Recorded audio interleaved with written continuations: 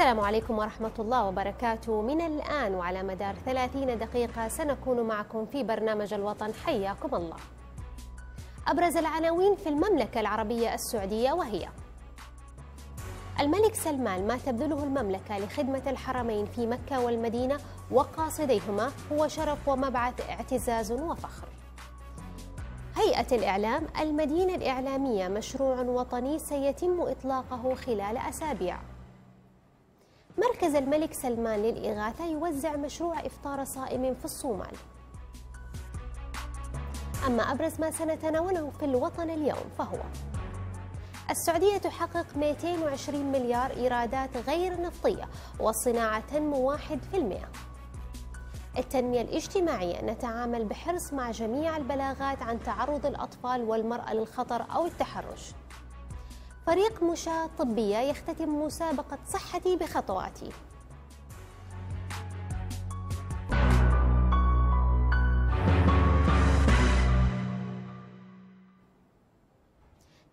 البنك الأهلي التجاري أن تحقق الإيرادات الغير نفطية في الميزانية السعودية لعام 2017 220 مليار ريال وأن يتحسن معدل نمو الناتج المحلي غير النفطي ليبلغ 7 من 10% وأن تكون مساهمة قطاع الخدمات الخاص هي الأعلى.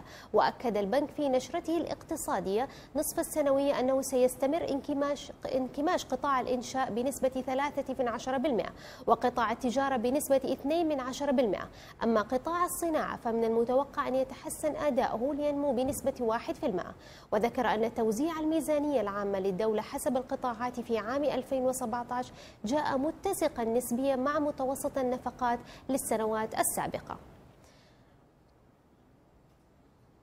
أما الآن معنا من الرياض الأستاذ سليمان العساف الخبير الاقتصادي.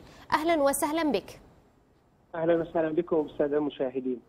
طبعا ارتفاع الإيرادات الغير نفطية هل هي دلالة على توجه المملكة نحو الطريق الصحيح لرؤية 2030؟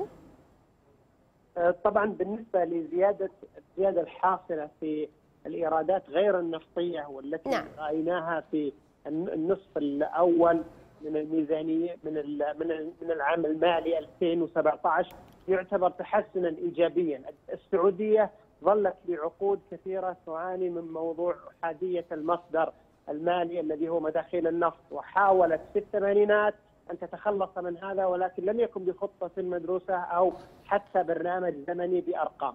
الآن السعودية بدأت تخطو الخطوات الصحيحة لتنويع مصادر الدخل وإن كانت لا زالت في البداية. نعم. ما هي العوامل التي تساعد على رفع الإيرادات الغير نفطية في المملكة؟ أنت ذكرت أنه في عوامل أخرى. ما هي؟ طبعا في أي بلد في العالم لا يمكن أن أن تأتي بمداخيل يعني من من السماء أو من أي مكان. هناك مداخيل تأتي من الخدمات من السياحة من الضرائب من العوائد الاستثمارات في الصناديق السيادية. هذه بصفة عامة هي العوائد التي نعم. تحصلها. السعودية الآن فتحت المجال للشركات الأجنبية للاستثمار في السعودية. هذه ستدر عائد خصوصا أنه معدل الضرائب عليها 20% على الأرباح، الأمر الآخر الإجراءات الإدارية والتراخيص وخلافه والأوراق كلها تستلزم رسوم، هذه تمثل عائد. الضريبة القيمة المضافة هذه عائد، الضريبة الانتقائية على بعض السلع هذه كذلك تمثل عائدا. للدولة. هناك تنويع مصادر ولا زالت في الحدود المقبولة والحدود أو أقل من المعدلات العالمية التي تجعل السعودية جاذبة للاستثمار وتحفظ تواجد الخبراء غير السعوديين. يعني الأجانب الذين يعملون لدينا لا زالت تحقق لهم فوائد من رواتبهم وتجعلهم يستمرون في البلد ويقدمون خدمات مع عائد تحصل تحصل السعودية لتنوع مصادرها. نعم أستاذ سليمان ما هي الانعكاسات المترتبة على المجتمع السعودي في ظل التوجه نحو الإيرادات الغير نفطية انعكاسها نفسها على المجتمع طبعا المجتمع لدينا في سبع عقود ماضية نعم. لم يتعود لا على ضرائب ولا على رسوم يدفعها عالية الآن أصبح هناك توجه السعودية أبلغت المجتمع أنه في رؤية 2030 سيتم تنويع مصادر الدخل. لا يمكن أن ننوع مصادر الدخل يا سيدتي عندما تعتمد على النفط أنت لا تستطيع أن تخطط، مستحيل أن يكون هناك تخطيط مع اعتماد على مداخل النفط لأن النفط في فترة من الفترات وصل سعر النفط في الثمانينات إلى 6 دولار وفي وقت في عام 2009 وصل ل 143 دولار. ولم يكن أحد يتوقع وصولها لهذا الرقم الأدنى أو الأعلى. لذلك أنت تكون عرضة للتقلبات وكل خططك تصبح فاشلة وغير صحيحة وغير واقعية، الآن السعودية تريد أن تقلل الاعتماد على النفط، المواطن لابد أن يعلم هذا ويكون شريكا في ذلك من أجل ليس مصلحته الآنية ولكن نعم. مصلحة أبنائه ومصلحة المجتمع. نعم. آه، أستاذ سليمان آه، دور المجتمع ودور المدارس في تنمية ثقافة أنه ما يعتمدوا على الموارد آه، النفطية عن طريق التعليم عن طريق المدارس أنهم هم يوسعوا مداركهم الطلبة. طبعا بالنسبة لهذا الأمر أمر مهم جدا. نعم.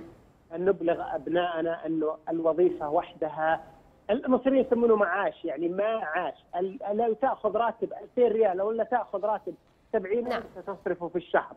لا بد من أن يكون خلق جيل قادر على أن يبدأ مشاريعه الصغيرة أو متناهية الصغر بذاته وتكبر مع الزمن. كل مشروع يبدأ صغير ويكبر. كل شيء في الدنيا لا بد أن ننمي فيهم روح الإبداع أن نخرجهم خارج الصندوق ليفكروا.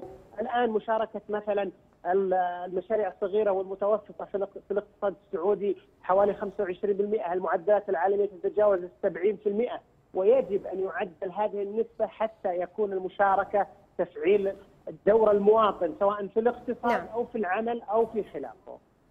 نعم آه كان معنا من الرياض الأستاذ سليمان العساف الخبير الاقتصادي شكرا جزيلا لك لكل المعلومات اللي أفدتنا بها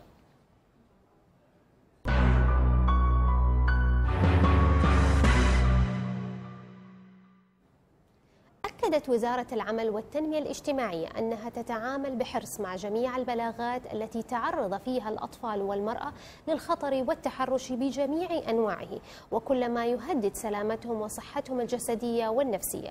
وكشفت الوزارة في تغريدة عبر حسابها الرسمي في تويتر عبر الوسم التوضيحي عن مراحل تلقيها للبلاغات بالتحرش أو التعرض للخطر مبينة أنها تقوم فور تلقيها للبلاغ عبر رقم البلاغات 19 19 بتصنيف فيه وتحدد مستوى خطورته مع الجهات الأمنية أو الطبية.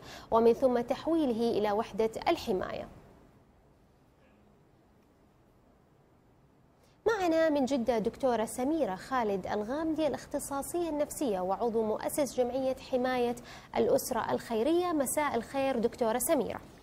مساء الخير يسعد مساك ومساء كل المشاهدين والمستمعين كمان. دكتورة سميرة يعني الموضوع هذا موضوع حساس يعني الحالات اللي أنتم بتجيكم سواء كانت اغتصاب سواء كانت فيها اعتداء جسدي أو جنسي كيف يتم التعامل معها؟ كيف ممكن أنتم أنتم تحموا المرأة أو الطفل؟ كيف تقيموا الحالة وتساعدوها إن هي تتخطى هذه المرحلة؟ طيب خليني أقول لك في الأول حاجة يعني كل حالة لها إجراء مختلف. نعم. نظام الحماية من الإيذاء بصفة عامة أو نظام حماية الطفل آه، أو الآليات اللي صارت في آه، في يعني في طريقة التعامل مع التدخل للحالات تختلف من حالة لحالة بناء على معطيات الحالات. نعم. بناء على معطيات الحالات. فيعني آه آه، في تبليغات بتكون عن طريق الخط الساخن 19 19 في تبليغات بتصير عن طريق 116 111 اللي يتبع للسجل الوطني وبرنامج الأمان الأسري. في نعم. حالات بتروح مباشرة للشرطة في حالات بتروح مباشرة للمستشفيات ولكن ينصف في الآخر إنه يتجهوا لمين؟ في حالات الايذاء الجسدي غير الجنسي غير النفسي. نعم. بمعنى لما يجي طفل على الطوارئ في مستشفى وهو متعرض لحالة تحرش جنسي أو آه، باشرت الشرطة القضية سواء باشرت الشرطة أو لم تباشر آه، هذا إجراء. لما آه، يعني هذا الإجراء لو جاء على المستشفى بتلاقي على طول وحدة الطوارئ في المستشفى بتبلغ الشرطة وبيطلبوا الطب الشرعي ولهم إجراء لوحدهم. لما تيجي الحالة على مستشفى متعرض لأداء لإيذاء جسدي ويقرر الأطباء إنه الإيذاء شديد مثلا أو بدرجة معينة. هنا آه كمان بيصير اتخاذ إجراء آخر وبيصير في فورمه بتتعبى الفورمه وبيتبلغ بها آه مباشرة فرق الحماية أو إدارة الحماية في الشؤون الاجتماعية. لو في ايذاء جسدي بيتحول على المستشفيات النفسيه للايذاء الجسدي. فحقيقي كل كل آه حالة لها إجراء ولكن يتفقوا على شيء واحد إنه التبليغ إلزامي وسواء الحالة أتشافت من طبيب من اختصاصي من شخص عادي من معلم من تربوي من أي قطاع نعم. لازم على طول يبلغ آه، إدارة الشؤون الاجتماعية آه، أو الشرطة أو القطاعات المعنية بالحالة. نعم. آه، معظم حالات التحرش اللي تصير تتم مثلا فترة الطفولة ما يعرف فيها الطفل إن هي دي حالة تحرش. يعرف بعد مثلا مرحلة البلوغ. في هذه الحالة كيفية وعي الطفل؟ كيف نوعيه إنه آه، هو قاعد بيتعرض للتحرش ولازم يبلغ عن هذا الموضوع؟ هو للأسف الشديد فعلا حالات كثير أو معظم حالات التحرش تحدث نعم. في مرحلة الطفولة وللأسف أكثر الأماكن امانا زي لما أقول دائما هي أكثرها خطورة على الطفل آه، لأنه التحرش بيكون من داخل المنزل من داخل الأماكن الآمنة نعم. من الناس القريبين من الطفل غالبا إحنا لازم نوعي الطفل بأساسيات يعني سواء مسؤولية الأسرة أو الناس اللي برا. مسؤوليه الأسرة في الأول إنه ما حد يقول لي إنه الطفل يفضل إلى سن آه، عشر سنين مثلا آه، أي أحد يحممه أي أحد يلمس أي مكان فيه يستخدموا كلمات آه، غير آه، لائقة. المفروض من سن ما بين ثلاثة إلى أربع سنوات أنتم تعتبريها سن صغيرة ولكن نعم. نحن نعتبرها سن واعي. لازم نبلغ الطفل إنه في أماكن حساسة في جسمك، جسمك ملكك ما لازم أحد يلمسه، آه لازم نعمل نوع من الحوار والانفتاح، ما نبقى نقول له عيب وحرام وممنوع نعم. ونخوفه، لازم نسمح له إنه إحنا ملاذك الوحيد. لما يحصل لك شيء لازم تجي تكلمنا، في أمهات وأبهات الله يهدي لهم نفسهم. لما طفل يجي يقول لهم حصل لي كذا أو أو في تبليغ كذا يروحوا لاطشينه كف ضاربينه معاقبينه وكأنه الطفل مسؤول عما حدث. فطبعا يشعر الطفل الآخر لو كان في طفل آخر في البيت بالخوف فما يتكلم. فلازم يكون في آه، تعريف بالتدريج. والآن صار عندنا شبكة عنكبوتية حبيبتي كبيرة إنترنت بيساعدنا كثير فلازم بالتدريج نعلم الأطفال إيش الحتت اللي لازم ما حد يلمسها. لو أحد كلمك كلام غير لائق ما نسمح لهم إنهم يقعدوا فترات طويلة مع ناس أكبر منهم سنا. نعم. ولا حد يقول لي عمه معليش جده معليش خاله معليش ولا أحد. ولا أحد. المفروض نعم. يكون في رقابة دائمة. لازم الأم تفحص دائما ملابس الأطفال. نعم. تشوف إذا فيها علامات إذا عليها شيء. سلوك الطفل بصفة عامة لما يتغير فجأة هذا خطر ولازم ننتبه له. يعني مثلا صار مشكلة في المدرسة فجأة صار يقول كلمات غير لائقة. نعم. مستواه الدراسي انخفض. أول ما نبدأ نشوف الحاجات دي لازم نتنبه ونقول قد يكون في مشكلة أو تحرش تعرض له الطفل نعم. آه، طيب هذا بالنسبة للأطفال. خلينا نتكلم مثلا على البنات. كيف ممكن أو يعني كيف ممكن نحن نوعيهم بأساليب المتحرش أو المعتدي؟ كيف ممكن هي تتصرف في حالة أنه حصل لها اعتداء أو حصل لها إيذاء؟ ما تختلف البنت عن الولد. أنت تتكلمي بنت صغيرة ولا كبيرة؟ لا يعني الكبار أو النساء. النساء ما شوفي في في القضايا ما يختلف كبير أو صغير. نعم. هو إحنا محتاجين في الكبار لأنهم أكثر وعيا. نعم. نحتاج إنهم هم يكونوا أكثر ثقة بنفسهم في انهم يعبروا عما حدث لهم. نعم. يعني أنا محتاجة أنا بقول لكل النساء أو لأي امرأة أو أي شابه تعرضت لتحرش وهي صغيرة وريكوجنايز أو بدأت توعى به وهي كبيرة أو أي وحدة وهي كبيرة إنه الآن في شيء اسمه نظام الحماية. وحقك ما حيروح عند الله. وفي النهاية لو لو انت ما تكلمتي ما حد يقدر يساعدك. لا تسمحي لهذا المعنف إنه هو يمارس نعم. يعني أشياء السيئه آه، بدون عقاب. آه، هذا ما هو وصمه عيب ولا عار ولا انت شخصه سيئة ولكن هو اللي انسان سيء. فبالتالي لما انت تعترفي أو تعترفي عفوا تعرفي أو تقولي انه حصل لك هذا الشيء آه، حيعرضه هو لل- للمساءلة. اثنين الآن النظام يحمي لكل إنسان السرية في التبليغ. نعم. وحتى المتعاملين إحنا كمتعاملين مع الحالات إحنا علينا مسؤوليات. يعني لما نشوف حالة ما نقول عيب وما نبغى نبلغ لازم نبلغ لإنه إحنا مسؤولين وقد نساءل قانونيا لو ما بلغنا. كمان لازم نحافظ على السرية. فأتمنى إنه الآن ما يعني ننزع الخوف. إذا كان تبغي نصيحتي لكل الكبار اللي نعم. يتعرضوا انزعوا الخوف. الحكاية ما هي وصمة عيب ولا عار. العيب على العار على المعنف على نعم. المؤسيء. مو عليكم. ولكن سكوتكم هو العيب والعار لأنكم بتخلوهم يتمادوا. نعم. آه، دكتورة سميرة من خلال أنك أنت اختصاصية نفسية كيف ممكن يكون دور الوالدين بالذات الوالدين؟ لأنهم هم أكثر من ممكن يلاحظوا الطفل تعرض لتحرش تعرض لإيذاء جسدي. كيف ممكن أطلب إحنا نوعيهم طلب واحد. ثقافيا؟ أنا أطلب منهم طلب واحد. نعم. اسمعوهم وانتبهوا لهم واحتووهم في حالة حصل حاجة زي كذا. نعم. أرجوكم بلاش ياخذكم الغضب والحمية وتأذوا أطفالكم بهدف التأديب وكأنهم هم المجرمين. الطفل لما يتعرض لإيذاء يحتاج ظهر الأمين. نعم. الظهر الآمن قبل ما تكون الإجراءات القانونية فهي الأم والأب. إذا الأم والأب تخاذلوا عن إنهم ياخذوا حق ابنهم ما حد حيقدر يساعدهم.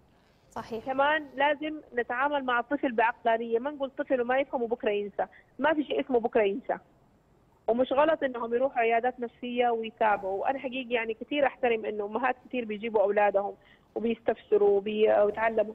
أول ما تشعر إنه في بذرة شك في حاجة زي كده ما حقول لكم روحوا الشرطة على طول أو اعملوا تبليغ على طول. روحوا لاختصاصي فاهم إيش بيسوي.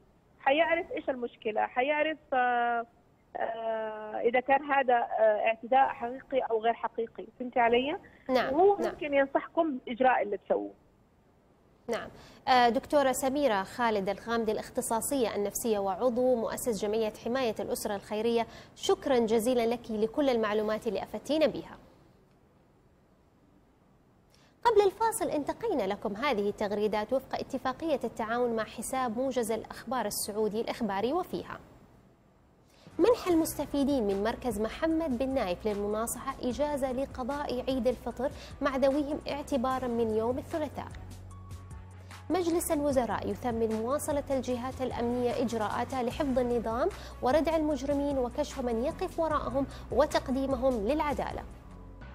مجلس الوزراء أقروا إنشاء برنامج وطني لدعم الهوايات والأنشطة داعم يهدف إلى دعم وتطوير قطاع الهوايات والأنشطة والفعاليات المرتبطة به.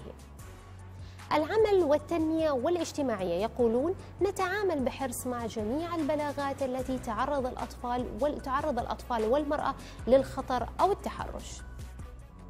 فاصل ونعود.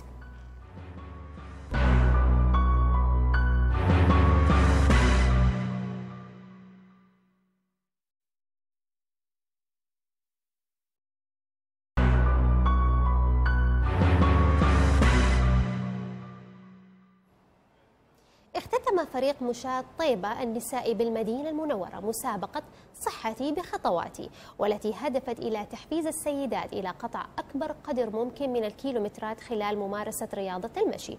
وأوضحت قائد فريق مشاة طيبة مزون الحربي أن المسابقة تأتي ضمن أهداف الفريق في تعزيز الرياضة المجتمعية وفي إيجاد مجتمع صحي رياضي حيوي وآمن من الأمراض.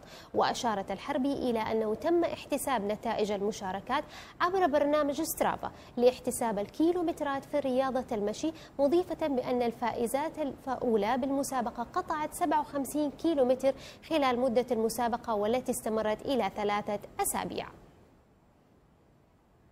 خلال شهر رمضان الكريم تكثر العزائم والأكلات الرمضانية والسكريات والمشروبات مما يؤدي إلى زيادة الوزن. لهذا يلجأ السعوديون لممارسة الرياضة قبل موعد الإفطار وبعده وذلك للحفاظ على الوزن كونه الشهر المثالي لتخفيف الوزن. في الصيام غذاء للروح وفي الرياضة غذاء للجسد. فماذا عندما يجتمعان معا في شهر رمضان؟ حرق للدهون وانخفاض في الوزن والوقاية من أمراض كثيرة. لكن باتباع نظام غذائي سليم وممارسة رياضية صحيحة وفي أوقات مناسبة يمكننا تحقيق الكثير خلال شهر الخير. النشاطات البدنية في رمضان هي صارت ما شاء الله يعني صارت يعني الآن في توجه كبير في إقبال كبير على ممارسة الرياضة خصوصا في في, في الأماكن العامة والساحات خصوصا العصر أما في المساء في الليل فكثير من الأندية الآن صارت ما شاء الله زحمة يعني تلاحظ إن النادي تدخل النادي يلا تلقى مكانك تتمرن. آه، التغذية شيء مهم جدا ان تتناسق مع آه، مع التمارين فالوقت التمرين مع التغذية الجيدة تكون نتيجة طيبة إن شاء الله. ما يؤكده المختصون الرياضيون بات هدفا عند عشاق الرياضة خاصة بشهر رمضان المبارك حيث أثبتت جميع الدراسات أنه الشهر الأمثل لممارسة الرياضة شرط تطبيق المعادلة لا إسراف في الرياضة قبل الإفطار ولا إسراف في الطعام بعد الرياضة. يعني الرياضة آه، يعني مفيدة في كل وقت. يعني آه، سواء لا قبل الإفطار يعني الواحد يكون يعني آه، شوي كذا متعطش للإفطار ولا لكن أنصح فيها إنه بعد الإفطار تزيد البطولات تزيد الدواري في شهر رمضان. يعني آه، يكثر فيها اللي هو تنظيم الدورات في شهر رمضان. بعيدا عن فوائد ممارسة الرياضة في رمضان تبقى الرياضة أوفى صديق يتخذه الإنسان لجسمه. ويبقى شهر رمضان الشهر الأمثل لإحياء هذه الصداقة وجني ثمارها. وفي شهر رمضان المبارك أيضا تتسابق الفضائيات على عرض أحدث برامجها ومسلسلاتها وتختلف أذواق المتابعين واهتماماتهم. أخبار الآن التقت عددا من المواطنين والمواطنات وسألتهم عن مدة وأوقات متابعتهم للتلفاز. لنتابع. والله تقريبا يعني من بعد صلاة المغرب يعني ربع ساعة إلى نص ساعة. وأي شيء يجي بعد المغرب إلى قبل أذان العشاء هذا اللي فترة اللي أجلس فيها. والباقي يكون فيها يعني مشغول ما بين الصلاة والعبادة إلى نهاية اليوم. طيب إيش نوع البرامج اللي تتابعها؟ والله آه، عادة يعني آه، كوميدية مسلسلات الفترة هذه فقط. أو برامج رياضية إذا كان ما بعد صلاة التراويح فقط. ما ما تجلس على التلفزيون كله على الجوال. التلفزيون ما, ما تلاقي وقت عشان تطلع التلفزيون أصلا. كله على الجوال. ما يعني ما في وقت عشان تشوف التلفزيون ابدا. تضلق على الجوال على طول. والله تقريبا آه، ثلاث ساعات تقريبا يوميا. البرامج اللي هي البرامج الثقافية بالإضافة إلى بعض المسلسلات و... يعني مش أقل من 3 4 ساعات في اليوم. مسلسلات. كله مسلسلات. بحب الكوميدي وغالبا بيبقى ساعة الفطار. بعد كده ما بتابعش كتير ممكن ساعة السحور وأنا بتسحر لكن غير كده ما بتابعش يعني كتير. أخذي تقريبا حول بس فترة محينة اللي هي مسلسل سيلفي بس. هو الفترة اللي أقدر أتابع بس في رمضان. أما بعد التراويح يعني أروح أشوف لي جدول ثاني كورة سوني أطلع أتمشى. أي شيء وقتها بعد رمضان بس كل وقت ساعة واحدة بس. والله التلفزيون صراحة ما قد عليه كثير. أغلب وقتي يعني مشغولة. ونوع البرامج مسابقات تقريبا. أكثر شيء يعني أميل لها في رمضان. والله بالنسبة لرمضان بالنسبة لرمضان فهو شهر عبادة أول شيء. ثاني شيء آه، أنا بالنسبة لي كشخصيا ما أتابع مسلسلات في رمضان. لأنه ما الواحد يجرح الصيام وصعبة من هذه الجهة ما أتابع شيء في رمضان. فأحاول لو بعد العيد أنا عادة تابعت. أما في رمضان صلاة وعبادة وتراويح واللهم لك الحمد. يمكن إذا برامج دينية نعم محاضرات كدروس دينية هذا اللي يتابع في رمضان. آه ال range يعني around 11 ساعة إلى 10 ساعات صراحة. بس ما ببرامج يعني. I am gaming جاي يعني حق ألعاب. فأجلس يعني أمام التلفاز أو أمام الشاشة 11 إلى 10 ساعات ك maximum. أما أغلب الأحيان في الفترة الحالية إلى خمس ست ساعات عشان الشغل وما الشغل. بمشاهدة التلفاز أنا ما اشاهد صراحة التلفاز أو البرامج الحصرية الآن. أه تقريبا ساعة واحدة. برامج دينية ثقافية.